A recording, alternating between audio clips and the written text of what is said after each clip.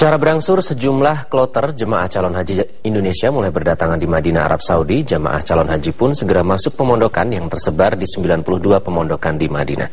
Namun ada sejumlah catatan yang berhasil dipantau reporter Metro TV yang saat ini berada di Madinah, Arab Saudi. Kita langsung bergabung bersama Adi Pamungkas yang saat ini memantau di sana.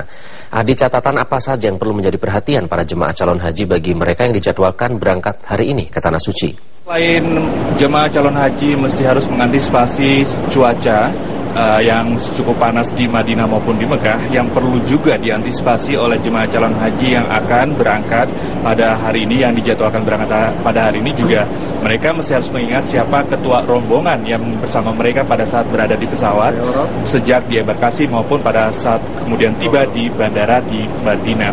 Karena ini penting mengingat kemarin ketika saya berada di sebuah pemondokan saya menemukan beberapa jemaah calon haji yang lepas dari rombongannya Kemudian ketika petugas haji Indonesia berusaha untuk menanyai atau membantu mencarikan informasi siapa ketua rombongannya, mereka tidak uh, tidak kenal, bukannya tidak, tidak kenal tapi lupa siapa nama ketua rombongannya. Ini penting sekali lagi karena uh, pada akhirnya mereka akan uh, tersisi kemudian akan terlepas dari rombongannya pada akhirnya ini pada akan berimbas pada gangguan untuk uh, melanjutkan ibadah karena mereka pada akhirnya kan baru kali pertama, mungkin saja baru kali pertama berada di Madinah di Arab Saudi ini. Sementara itu berdasarkan informasi dari Siskohat Haji yang saya peroleh pada pagi hari ini, okay. pada titik uh, jam 3.25 dini hari telah 3.930 jemaah calon haji yang tiba di Madinah.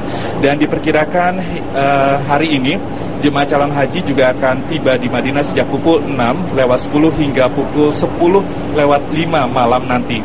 Sementara itu cuaca di Madinah pada saat ini berada di posisi 32 hingga 46 derajat Celcius, sementara di Mekah sendiri berada di posisi 32 hingga ke 43 derajat Celcius.